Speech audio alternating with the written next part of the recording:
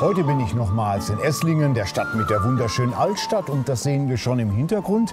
Wenn wir die älteste Fachwerkzeile Deutschlands anschauen, alle Gebäude sind über 600 Jahre alt, dann wissen wir, wir sind in einer Altstadt. Und wir werden uns mit dem Gebäude rechts beschäftigen, mit dem hellen Gebäude. Da werden Sie gleich sehen, was da drin ist.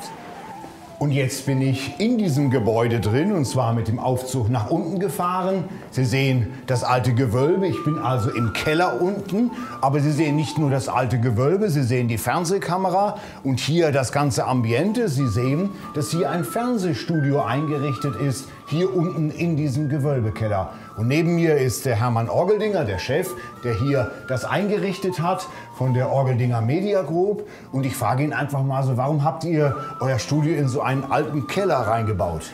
Wir haben die Agentur mitten in Esslingen und der Keller war einfach Abstellraum. Und das fand ich schade, denn der Keller ist aus dem 15. Jahrhundert. Und da wir Fernsehproduktion sind, haben wir gesagt, wir legen unser Studio hier runter.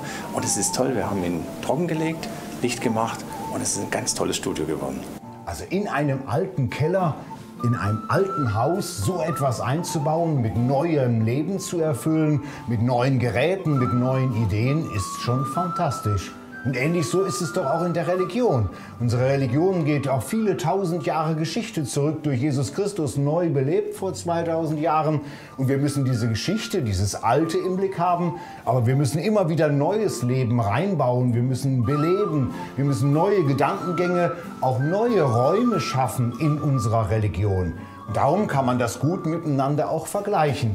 In einer Religion etwas Neues einbauen, etwas Neues verwirklichen und das dann auch gut nutzen, um Gott letzten Endes auch in diese Welt hineinzutragen, wie das ja in einer Fernsehproduktion auch so ist. Denken Sie doch mal drüber nach. Ihr katholischer Fernsehseelsorger Pater Alfred Tönnis und Hermann Augendinger.